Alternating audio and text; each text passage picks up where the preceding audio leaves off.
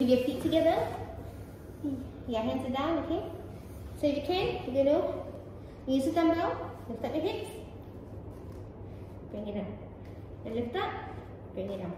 If you can't do it with the dumbbell, it's fine. Keep your arms here, lift up, and down.